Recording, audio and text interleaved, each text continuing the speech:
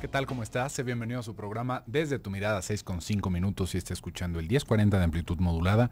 Radio Mujer, el sexto sentido de la radio. También llegan usted a través del 95.1 de FM en Austin, Texas, por la cadena Cable Radio Network a 10 estados de la Unión Americana y al resto del mundo por el internet en www.radiomujer.com.mx. Estamos como es costumbre, sus psicoanalistas de la radio, mi compañera Gabriela Maldonado y su servidor José Luis Amarripa tras los micrófonos. ¿Qué tal Gaby? ¿Cómo estás? Muy bien, José Luis, ¿tú qué tal? También muy bien, aquí comenzando la semana ya se empiezan a ver, digamos, como algunos indicios del, otoño, ¿no? Raro, ahora sí se, se tardó un poquito esto del otoño, pero ya vemos que los árboles empiezan a deshojar. Sigue lloviendo, pero bueno, todavía todavía parece que nos van a esperar algunas, algunas lluvias. Gaby estaba escuchando que todavía por ahí hay un huracán, así que tome sus precauciones y nosotros comenzamos con otro, otro, otra saga, podríamos decir, otro grupo de temas. En esta semana vamos a estar hablando alrededor de los complejos de la infancia. No toda la semana, pero los temas van relacionados, como usted ya sabe. Y es curioso siempre mencionar un complejo de la infancia, porque ya nos estaba diciendo Claudia que parece que la mayoría de los complejos van, van iniciando en la infancia. Y bueno, ahí vamos a tener estas, como estas memorias todos nosotros. Bueno, es que a mí me discriminaban tal vez porque era muy bajito, tal vez porque era muy flaco, tal vez porque era muy gordo, tal vez por mi color de piel, tal vez por mi acento, por el estado en el que vivía y luego me, luego me tuve que cambiar de residencia. Hay muchísimas cosas por las cuales nosotros podemos llegar digamos, como accidentarnos sentimentalmente en la infancia. También podemos llegar a ver un contacto sexual temprano, puede llegar a, generarnos un complejo, tal vez parte de nuestro físico, como ya se lo había mencionado, y esto, por supuesto que tiene que ver, por un lado, con nuestra realidad, como lo podríamos decir, interna, no tanto con la realidad externa, y ahí es una cosa muy importante que tendríamos que ver, porque de repente nos vamos a topar con complejos que, son bastante llamativos. Por ejemplo, personas que se sienten acomplejados o acomplejadas por su género, ¿no? por su sexo. Hoy es que yo siempre me sentí que era la más, la más, digamos, como ignorada en mi casa porque yo era la única mujer, o bueno, yo era el único hombre, y a mí siempre me trataban mal porque decían que los hombres, lo demás. Y si se fija, pues eso no tendría por qué ser una razón para sentirnos acomplejados, el ser hombre o el ser mujer es más, hasta el ser de tal o de cual color, ya se va, se va cimentando un poquito más en, digamos, como en la idiosincrasia en la que estamos viviendo, en la cultura. ¿Por qué? Porque tal vez somos demasiado morenos o tal vez somos demasiado blancos, pero bueno, a final de cuentas no hay mucho que nosotros podamos hacer al respecto. Pero sí, ¿cómo podemos llegar a recibir estas críticas? Esto es algo bastante importante porque ahí es en donde va a ser la diferencia de qué tanto nos llegamos a sentir acomplejados por algo que otras personas pues a veces pueden llegar a pueden llegar a tomar hasta como un aspecto positivo de su vida. Me acuerdo Gaby en unos cursos que dábamos a los niños, ¿recuerdas? Sí, claro. Unos cursos de inteligencia emocional para niños en donde hablábamos justamente de esto, ¿no? En donde como tal vez algún rasgo característico nuestros ojos, nuestra frente, nuestra boca, nuestra, nuestra nariz puede llegar a ser objeto de burla para los demás. Pero ahí todo va a decidirse en cómo nosotros tomamos esa burla, porque tal vez alguien siente que tiene la boca muy grande, ¿no? Y bueno, todos, ay, mira el bocón, ay, mira la trompuda, pero hay algunas personas que pueden llegar a tomar este tipo de rasgos como algo característico propio y hasta acentuarlo y hasta hacerlo muy propio. Si se fija, esta es una diferencia que no tiene que ver con la realidad externa, sino con qué tan fuertes nos sentimos nosotros alrededor de nuestra propia imagen, más allá de lo corporal, sino también de nuestra autoestima, de lo, como, de lo que podríamos pensar como nuestro autoconcepto. ¿Qué tan querido me hacen sentir las personas que están a mi alrededor?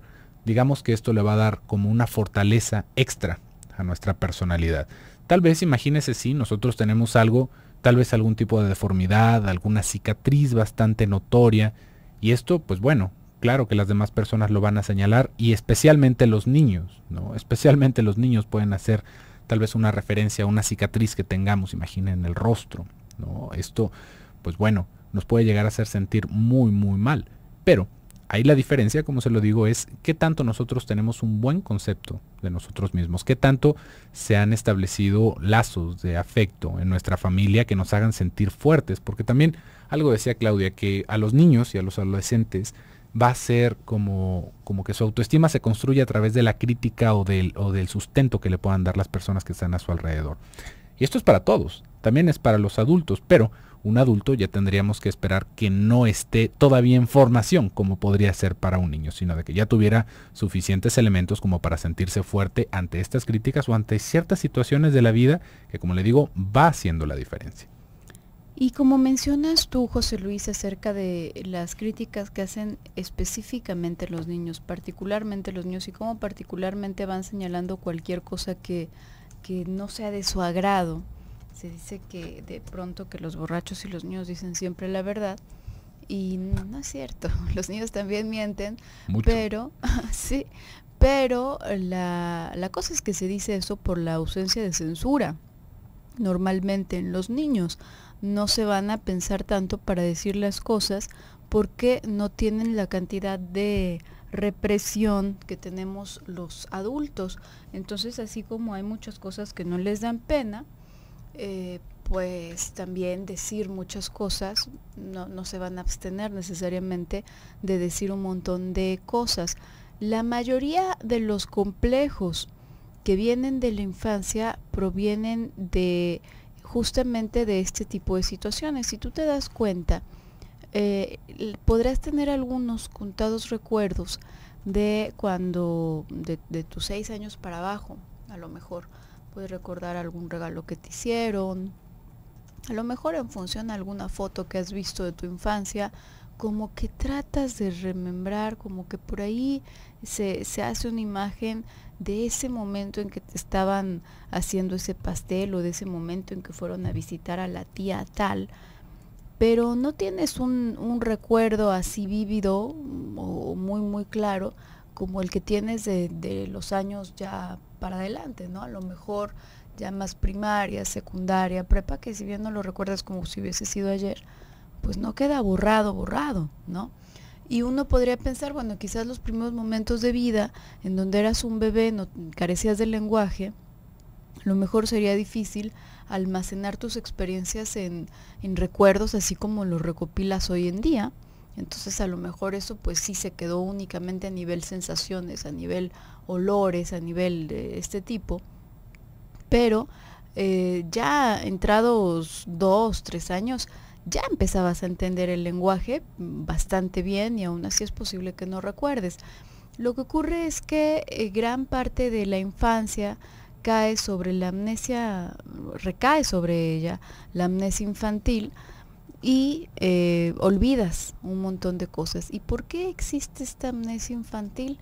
que en algunas personas incluso abarca hasta años casi casi antes de secundaria, ¿no? Y empiezan a recordar ya por ahí de la mitad de la primaria para adelante. ¿Por qué ocurre esta amnesia?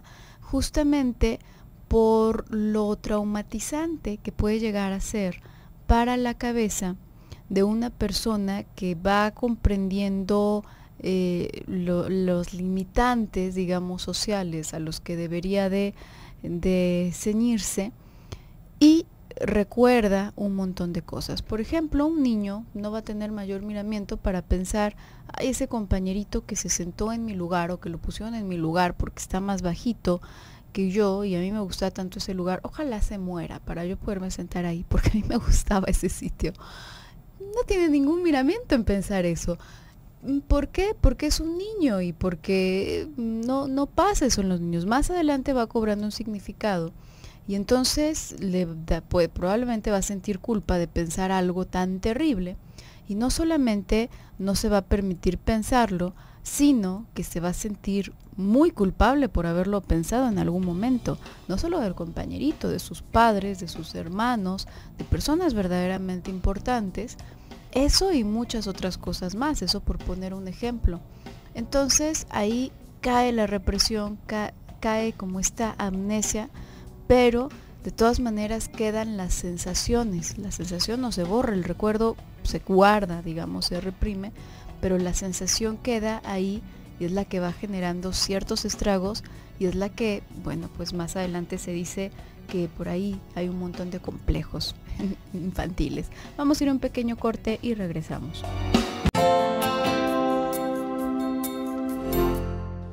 Estamos de vuelta en su programa Desde tu mirada y le recuerdo que estamos en la sala de chat. Si usted quiere comentar algo, estamos en www.radiomujer.com.mx en la sala de chat de Desde tu mirada.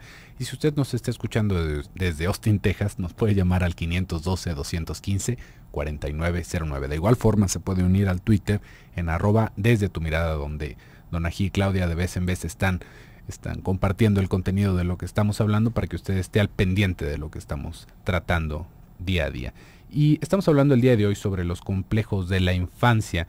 Y es un, es un tema bastante interesante porque, porque nos vamos a topar con que muchas cosas que vivimos en la infancia nos van a ir marcando en nuestro futuro como adultos. Podríamos pensar ahorita, tal vez con, con todo este, con toda esta atención que se le está prestando al bullying, Gabriela, al acoso escolar, pensar cómo, cómo vamos a crecer o cómo puede crecer un niño que fue acosado durante toda su vida escolar, ¿no? Que era al que todos lo traían de bajada, lo golpeaban, le hacían burla, le hacían bromas pesadas. Y esto es bastante, bastante delicado de pensar porque siempre nos quedamos como hasta el, hasta el momento solamente en el que sucede, ¿no? Ay, no le estén diciendo, ah, no le estén haciendo tal. Pero realmente este tipo de abuso, si no es afrontado con coraje por parte del niño, con, con fuerza, puede ir minando parte de su autoestima como adulto o como adolescente, porque digamos que se va generando un clima de desconfianza y se va generando también, digamos, como una cierta propensión a tener ese papel a lo largo de la vida, que esto es algo realmente, realmente complicado. ¿Cómo es eso de que se va a, tener ese papel a lo largo de la vida? Si a nosotros nos empiezan a tratar de tal o de cual manera cuando estamos en la escuela, cuando estamos pequeñitos, no es porque nosotros seamos o no seamos una persona que esté adecuada para este papel de entrada. Podemos tener algunos rasgos, podemos tener ciertas características que nos vayan empujando hacia esos lugares, pero realmente va alrededor de la necesidad de los que están alrededor. Vamos pensando un poquito en los papeles que le damos a los niños en casa, ¿no? Cómo puede ser ese hijo que salva el matrimonio o esa hija que me va a cuidar, esa hija que es la tontita, esa hija que es la más inteligente, ese que es el más guapo o ese que no va a salir ni en rifa, ¿no? Este tipo de cosas nos las van platicando desde la casa y nosotros de alguna forma vamos entendiendo que ese es nuestro papel, que ese es el lugar que está apartado para nosotros. Y esto es algo que podemos ver cuando se abusa de este tipo de niños en la escuela, ¿no? Porque nosotros decimos, bueno, pero es que si es el más inteligente, si es el más aplicado, ¿por qué, ¿por qué lo acosan en la escuela? Pues bueno, ese que es el más inteligente y el más aplicado tal vez sea el que más cuidamos en casa de entrada, el que tiene las mayores oportunidades de destacar dentro de casa porque le damos el mejor espacio, porque le damos las mejores cosas, la mayor atención y nuestra protección. El que tenga nuestra protección muy posiblemente lo va a hacer un ser indefenso cuando salga de la casa, ¿sí ve? Pero de todas maneras con esa necesidad de brillar como estrellita, entonces adivine que la frustración de los demás niños que tal vez no, no, se, no aprendan tan fácil, que no tengan este apoyo por parte de sus pares, ¿a dónde cree que va a ir a parar? Por supuesto que contra uno de estos muchachos. Y no porque, no porque sea, digamos, un imán de acoso, pero es el niño que no se puede defender es el niño que de alguna manera no se le han dado las herramientas para que, aparte de sentirse tan bien dentro de casa, también pueda sostenerse fuera de esta. Y ese niño, digamos que puede llegar a entender que algo están esperando los niños que están a su alrededor, aunque sean los golpes, aunque sea una cosa muy dolorosa para él en cuestión de las críticas que pueden hacer, se van acostumbrando, se van haciendo la idea y se va encontrando un cierto placer en este tipo de cosas. Esto es, como le digo, algo complejo y algo complicado de decir, pero ahí nos podemos encontrar el por qué hay ciertos niños que no importa la escuela, no importa el grado, no importa el lugar, la fiesta, el, donde sea que los dejemos, acaban siendo la, digamos como el objetivo de las burlas y de los abusos de estos niños que de alguna forma acaban sacando su furia contra ellos, ¿no? Y esto, ¿qué va a pasar cuando crezcamos? por supuesto que eso también se va a arrastrar. No, no en el mismo sentido o en el mismo tenor tal vez, pero por supuesto que se va haciendo un acomodo. Y no tanto por el asunto de la escuela, si ves, sino como con la dinámica que se puede generar alrededor de escuela, casa. Si ve, puede que sea un niño muy abusado en la escuela y en casa nosotros le damos todo nuestro apoyo y todo lo demás, va a ser un niño que de alguna forma va a empezar a privilegiar el ambiente de la casa va a empezar a evitar relacionarse con personas del exterior porque las personas del exterior le resultan peligrosas. Esto como una de las alternativas, ¿eh? no, no, es para, no es para sacar mi bolita de cristal y empezar a adivinar el futuro de la gente, pero es una posibilidad bastante, bastante grande, bastante amplia.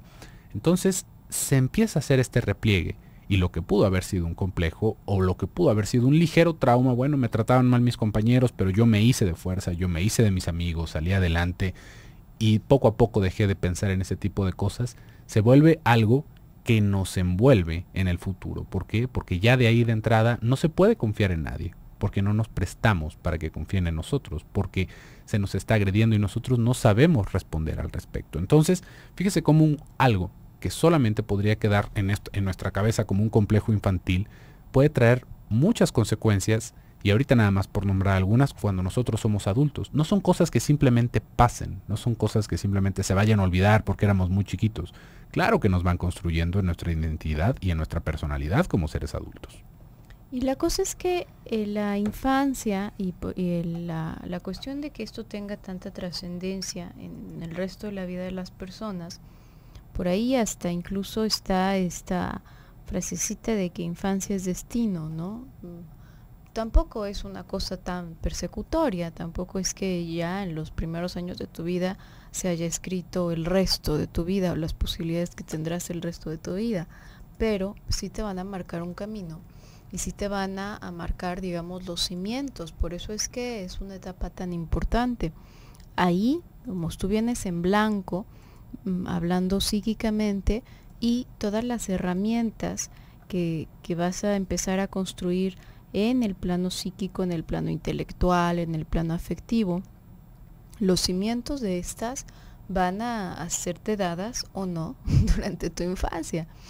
Y como cualquier otra cosa, más adelante, cada vez más adelante, es cada vez más difícil obtenerlas. Si se tuvieron bien establecidas desde el primer momento de la vida, bueno, ya se adquiere prácticamente sin ninguna dificultad, así como adquiriste el lenguaje pero eh, no tuviste que estudiarlo tú, el lenguaje que hablas ya es como que te lo regalaron, digamos. Si quieres aprender otro lo tienes que estudiar y te va a tener que costar trabajo. El primero no te costó. Entonces, eh, por eso es que es tan importante. Y curiosamente se tiene en general la idea totalmente opuesta. Muchas personas eh, tienen esta idea e incluso promueven mucho esta idea de que los niños se deben de tener así como como en lo salvaje, ¿no? Así como que vienen con la torta bajo el brazo. No, no, no. Vienen con problemas bajo el brazo, eso es cierto. Pero no vienen con ninguna torta. Y ya sobre la marcha irás dándote cuenta de, te vas a ir dando cuenta de cosas sobre la marcha, sí. Pero aquí lo curioso es que esta idea que se promueve en muchas ocasiones es la de que eh, no hay que prestar tanta atención a los niños porque los niños no entienden. Entonces, ¿qué importa? Un montón de cosas. Y de verdad hay muchas, muchas personas que está el chiquito por ahí alrededor diciendo cantidad de sandeces, de cosas, eh, un diálogo que, que si uno ve, por ejemplo, en un adulto, pensaría pues que es un diálogo absolutamente psicótico, y, los papás se sienten y sonríen, ¿no? Y el niño puede decir que hoy en la escuela fue a la luna y que, y que se encontró a unos caballeros del zodiaco, qué sé yo. Y bueno, los papás es como lo mismo que si estuviera hablando una pared, porque está diciendo cosas absurdas, porque es un niño. Y la idea es como que de pronto se va a convertir en una persona coherente, y en una persona ya con cierta consistencia y entonces íbamos a convivir con él y entonces si no lo vamos a llevar a jugar fútbol, el papá puede pensar eso, por ejemplo, y mientras tanto pues ahí que se quede en ese proceso como si estuviera todavía en una incubadora, ¿no? En una incubadora con la cual nosotros no tuviésemos nada que ver. Pues claro que no, esos primeros momentos son momentos verdaderamente cruciales y son momentos que en todo sentido, así como en, el sentido de la salud, en el sentido de lo fisiológico, en el sentido de lo psíquico también se van a ir marcando todas esas pautas, todas esas primeras eh, como herramientas o cimientos sobre lo cual podemos construir lo demás. A veces en este capricho que se hace de pronto con los otros hermanos, a las personas que están alrededor les da mucha flojera poner ciertos límites o explicar más o menos. Dicen, bueno, es un niño, ¿qué más se va a dar cuenta si es su juguete o si no es su juguete o, qué, ¿no? O, o se utiliza mucho esta este uso de los niños como si fueran una extensión, como una medallita de los papás que va y lo lleva con los amigos, por ejemplo, de, eh, con los hijos de sus amigos. Y entonces, y préstale el juguetito, y a fuerzas préstale el juguetito porque yo quiero quedar muy bien con mis, con mis compadres, por ejemplo. Entonces, ¿cómo tú me vas a hacer quedar mal?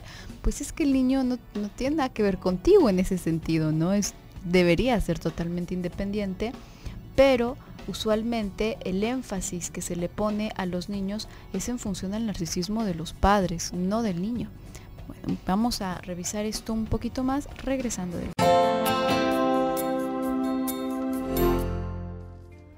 Estamos de vuelta en su programa Desde tu mirada, 6 con 35 minutos. Estamos a la mitad del programa del día de hoy. Estamos hablando sobre los complejos de la infancia y aprovecho el momento para mandarle un saludito a nuestro último a nuestro último seguidor de Twitter, Samuel Esteban. Si usted se quiere unir a la red de Twitter, estamos como arroba desde tu mirada. Y hemos estado hablando el día de hoy sobre los complejos de la infancia. El día de mañana también vamos a hablar sobre esto. Y es algo, digamos, como también muy significativo. ¿Qué tanto se puede llegar a vivir la sexualidad cuando estamos niños? Esto yo creo que es uno de los uno de los puntos más importantes alrededor de hablar sobre los complejos que se pueden generar en nuestra infancia. Puede haber desde algún tocamiento, un abuso infantil. Esto es mucho más común de lo que a veces nos gustaría aceptar porque de repente se va sintiendo como si fuera como si fuera esa cosa que pasa rara vez, ¿no? Como si fuera el crimen más ominoso y horrible y por supuesto que va calificando desde este punto, pero no no por su rareza sino por lo común que se vuelve esto de repente dentro de la familia.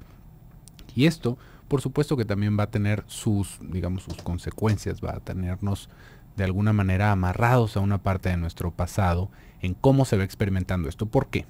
Porque muchas veces vamos teniendo esta idea, como tú ya lo habías mencionado, Gaby, de la amnesia, ¿no? Bueno, al final de cuentas todo se nos olvida cuando somos niños, ¿no? No importa, es que si nos vio el niño o, o si la niña de repente le pasó tal o sucedió tal, bueno, no importa, estaba muy chiquita, ya no se va a acordar cuando crezca, pero no, realmente este tipo de vivencias en la infancia tendríamos que entenderlas en su magnitud porque es lo primero que vivimos, ¿sí ve?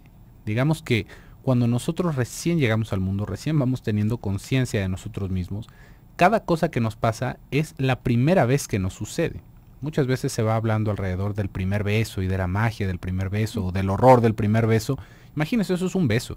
Imagínese cómo habrá sido nuestro primer contacto con la sexualidad cuando éramos pequeños. Muchas cosas, por supuesto que van dejando su huella porque es la primera vez que se vive. Y de la manera en la que se va viviendo en la infancia es con una fuerza tremenda, porque no es lo mismo vivir algo a los 5 o 6 años que vivirlo a los 30, 35 años. ¿Por qué? Porque a los 35, 30 años pues ya vivimos muchas más cosas, ¿sí ya tenemos muchos más elementos para sostenernos en nuestro propio concepto, ya tenemos una fuerza libidinal, esperemos, mayor que la de un niño de 5 o 6 años, y ahí se va haciendo la diferencia, porque un niño de 5 o 6 años es la primera vez y es toda la fuerza que trae alrededor este tipo de contactos. Muchas veces se va pensando de una manera muy negativa alrededor de, este tipo de contactos sexuales cuando se es pequeñito, ¿no? Ay, es que si ya pasa eso, se ha arruinado la vida de ese niño para siempre. Y esto, por supuesto, que también tiene que ver con la fuerza que se va teniendo cuando se es pequeño.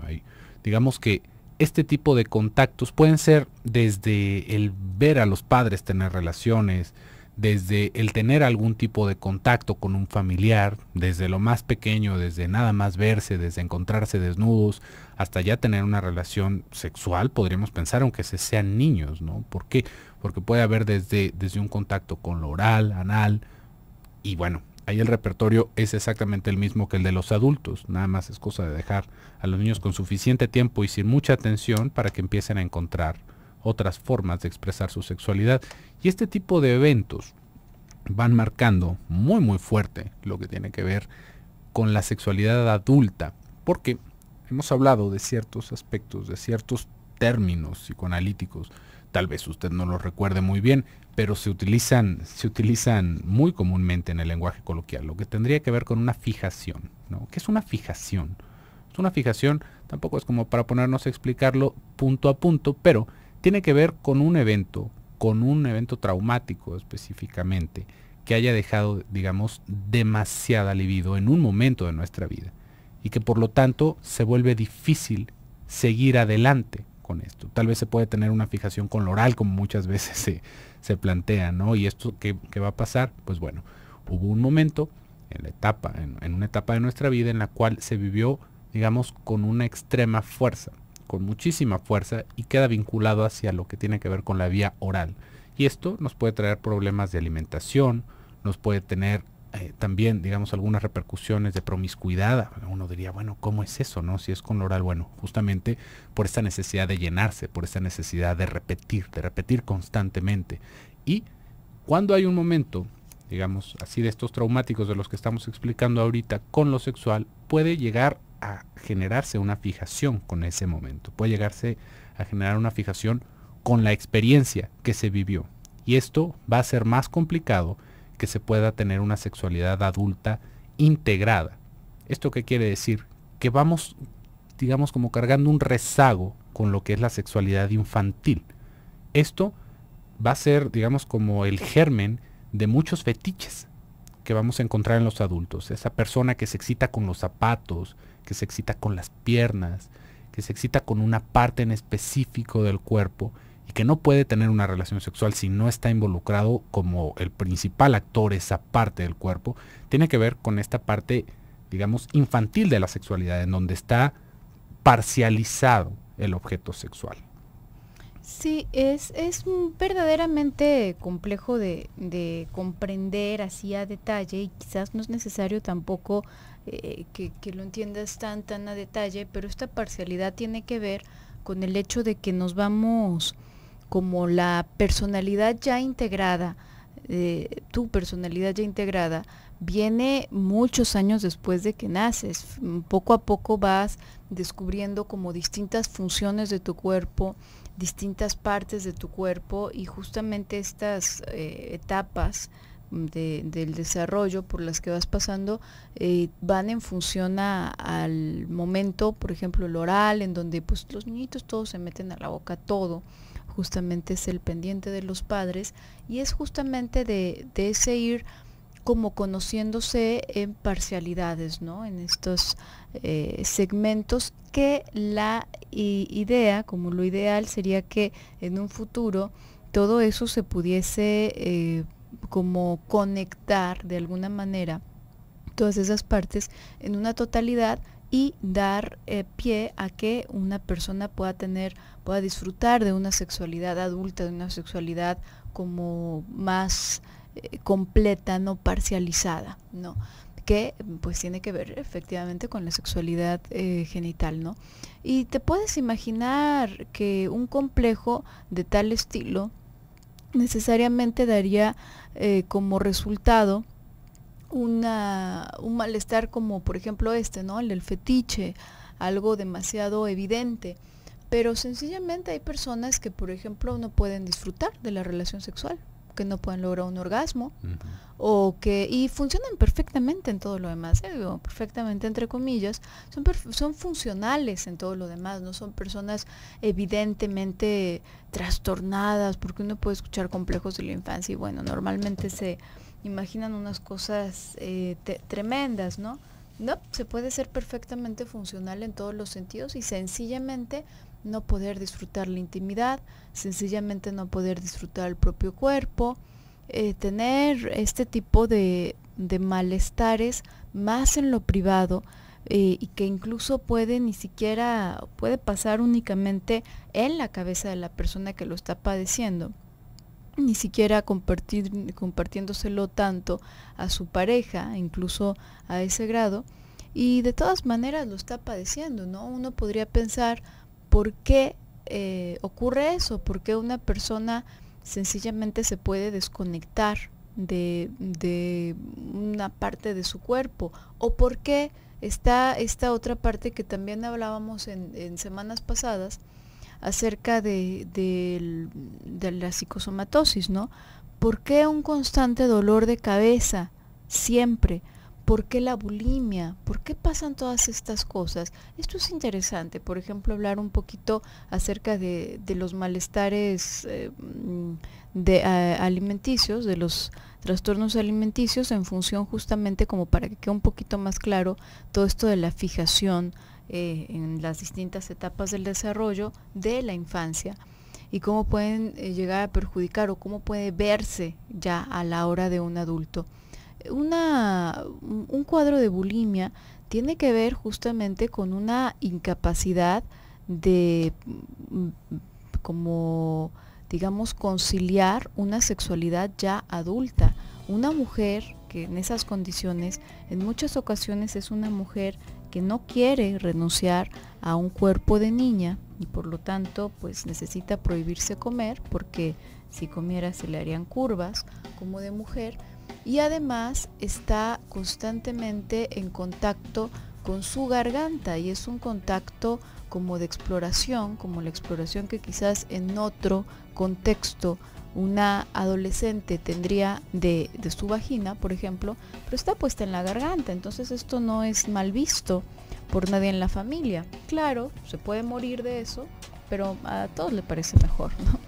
Vamos a ir a un pequeño corte y regresamos.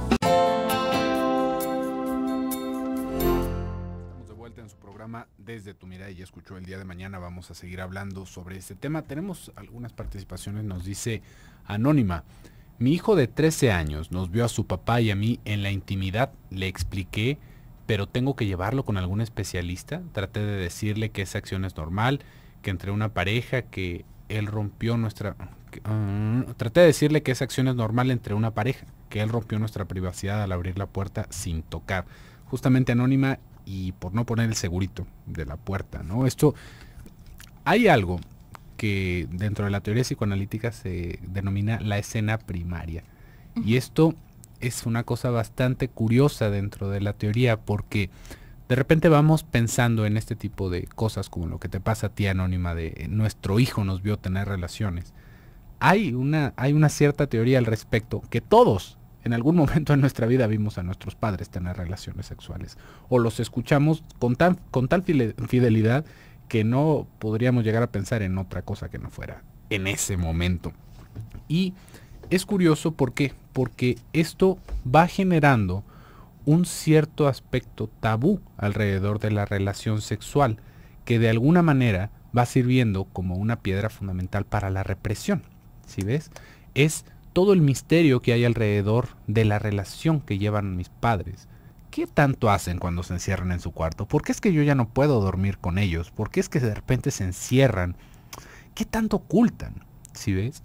Y ahí, alrededor de todo esto, ¿cómo lo vamos viviendo? Esto tiene muchísimas más implicaciones dentro de la teoría, pero ahorita lo que nos funciona para poder pensar en esto es cómo se alcanza a entender este aspecto de la privacidad que tú nos estás diciendo tú le estás hablando de que él rompió su privacidad. Ahí es una cosa, bueno, que tú ya dijiste, pero lo que es más importante es que tú puedas mantener tu privacidad. ¿Por qué? Porque los niños son muy, muy curiosos. Si tu hijo ya tiene 13 años y de todas maneras sigue habiendo ese momento, sigue habiendo como esa curiosidad de qué están haciendo, porque aparte es en el justo momento, no es como que de repente nos estábamos preparando, no es como que nos encontró después de la... No, es en el momento. Y es así como, como esta, esta firma que tiene ese momento desagradable de la familia. ¿no? Ahí es más importante que tú también, así como se lo dijiste, que es una cosa normal, que él rompió la privacidad, que no debe entrar sin tocar, que tú puedas mantener la, privacidad de tus relaciones. Y esto en, alrededor de qué va. No nada más de poner el segurito, si ves, no nada más de decirle que es un momento de intimidad entre ustedes dos, sino de también guardar cierto recato alrededor de esto. Si ves, y esto es, una, es uno de los sacrificios que se tienen que hacer al momento de, tener familia. ¿Para qué? Para que los niños no vayan a tener algún tipo de repercusión alrededor de esto. Si ves, ¿por qué? Porque el hecho de encontrar esta parte de lo sexual en los padres no solamente es algo perturbador para los niños porque no saben qué es, sino que se vuelve algo perturbador por la excitación que, que proviene de, acto en específico. Y eso puede llegar a generar que este niño se vuelva, no, no porque sea tu caso, ¿sí ves? sino por cómo se puede tener esta vivencia alrededor de, alrededor de justamente ese momento en el que se viva con un rechazo la parte de la sexualidad, en el que se descubra algo que ni siquiera se está preparado para entender hasta ese momento. Tu hijo ya de 13 años ya debe tener una idea bastante elaborada de lo que son las relaciones sexuales, pero aún así pensémoslo en los, en los pequeñitos, ¿no? pensémoslo en los niños más pequeños. Realmente es un momento traumático. Y es un momento traumático para empezar, ¿qué estaban haciendo? ¿Se estaban lastimando? no se estaban lastimando, estaban generándose placer, pero ¿cómo? ¿Por qué? Y ahí empieza esta búsqueda de los niños. Si ves, esta es una búsqueda que por lo general anda rondando en la edad de tus, en la edad de tu hijo. Esto desde el principio se vive como un, digamos como un cierto misterio, pero para los púberes, los preadolescentes y después a los adolescentes es a los que más les empieza a generar, digamos, como esta ansiedad. ¿Por qué? Porque el cuerpo ya se siente preparado para tener ese tipo de contactos, porque ya se siente esta excitación más adulta, ya no es como eso de niños que estábamos hablando hace rato, de lo, de lo parcial. Todavía puede existir esta parte de las pulsiones, pero ya se está, digamos, como preparado para una experiencia completa alrededor de los genitales, de cómo las niñas ya tuvieron su primera regla, por lo general a estas alturas que tú nos estás diciendo. Entonces, como te digo, ahí más importante de lo que tú le pudiste haber dicho en ese momento es que se pueda guardar mucha privacidad en ese tipo de momentos. Si ves, en el momento en el que tú estás teniendo intimidad con tu pareja, porque de por sí la infancia es algo complicado de superar, ¿no? de superar por todos los afectos y por todas las pasiones que se viven. Si nosotros le estamos sumando este tipo de elementos a los niños, pues por supuesto que resulta más accidentado el, el, trayecto a lo largo de la infancia. Entonces, ahí hay que mantener cierto recato de buscar momentos en donde no estén, justamente para evitar que esto se vuelva un problema aún mayor. Y además en general, ¿no? Porque, mira, Anónima, para, bueno, la, la primera pregunta que tú haces acerca de si tendrías que llevarlo con un especialista porque los cachó a ti y a tu marido teniendo relaciones, pues no, digo, además es una situación a veces también medio persecutoria en la que se pone a los muchachos de, ah, ya nos viste, pues ahora vas a tener que ir a platicarle al psicólogo que nos viste para que no te des echar a perder, ¿no? Digo, no, realmente no, no funciona de esa manera. Eh, más bien justamente en el sentido de que tú puedas explicarle y, también creo, eh, claro, el recato del, del, cual te habla José Luis, pero también como revisar qué más elementos hay en el contexto. Me llama la atención porque tu muchacho ya tiene 13 años. Eh, normalmente esto llega a suceder cuando está pues más chico los niños, ¿no? a los 13 años digamos que ya hay una, una conciencia mayor, ya se tiene una mayor idea de pues los espacios privados, entonces eh, digamos que ahí la curiosidad puede ser muy muy muy grande y es en ese sentido que yo creo que tendría que revisarse el contexto general en, en tu casa, por ejemplo, si es tu único hijo, eh, qué pasa, por ejemplo, con la privacidad que tú le das a tu hijo, porque también a esa edad pues los adolescentes empiezan a explorar su propio cuerpo y luego a veces también a las mamás les da mucha curiosidad y les da mucho por no tocar la puerta tampoco cuando abren el cuarto. Entonces, ¿qué tipo de relación estamos estableciendo con los muchachos? Porque luego que quiere quedar así como en ese, es esta, es esta la parte de hacer como que son niños y los niños como que no existieran, ¿no? Ay, al cabo que es un niño, vamos teniendo relaciones sexuales aquí en el cuarto, al cabo que es un bebé, al cabo que tiene 3, 2, 4 años. Y pues el niño por supuesto que se chuta todo y por supuesto que es una escena estimulante. Entre más pequeño, pues más, más bizarro va a ser para él, más extraño va a ser, porque pues es estimulante, pero no es algo que, pueda comprender, ¿no? Al final de cuentas, todo esto significa para, para los muchachos una violencia en el sentido de que es un estímulo demasiado fuerte como para que puedan tramitarlo y que como dónde se van a acomodar más adelante o, de qué manera van a digerir la idea de, sentirse excitados por ver a sus padres, ¿no? Esto, esto es una cosa eh, difícil, de verdad, muy difícil de conciliar entonces, más que concentrarnos en ese evento en particular en donde pasó al acto, en donde efectivamente ahí en, el mismo acto este, fue y, vio, vamos revisando qué con el contexto, qué tanto de verdad nosotros respetamos nuestra privacidad, qué tanto de verdad nos permitimos, por ejemplo, el, salir del baño en la toalla o el andar en la casa ahí en, paños menores o, el estarle abriendo la, la puerta a los hijos también que bueno, eso es como fomentar una forma de relación en donde nos podemos compartir nuestras intimidades, ¿no? En donde yo te puedo cachar a ti, este, tocándote, por ejemplo, y tú me puedes cachar a mí. Esto es muy, muy importante porque más que tratar de explicar ese momento en específico, es lo, fíjate, no te preocupes tanto, y mañana vamos a tener más chance de hablar de esto, los complejos no crees que se hacen de un evento y ya te traumatizó de ese momento y para toda tu vida. Necesitas algo verdaderamente fuerte, una violación, para que quede eso establecido de esta manera. Normalmente van, y lo que va marcando verdaderamente es en función a la, a la, predominancia de cierto tipo de ambiente, de cierto tipo de relación, de cierto tipo de funcionamiento. Entonces, si tú alcanzas a cachar que hay algo cargado para un lado, a lo mejor un tanto nocivo en tu, en tu familia, en tu bueno, todavía tienes esa oportunidad de ir como replanteando. Pero bueno, por el día de hoy se nos ha terminado el tiempo. Yo me despido, soy Gabriela Maldonado. Yo soy José Luis Amarripa. Nos escuchamos el día de mañana en punto de las 6 con la continuación de este tema. Hasta luego.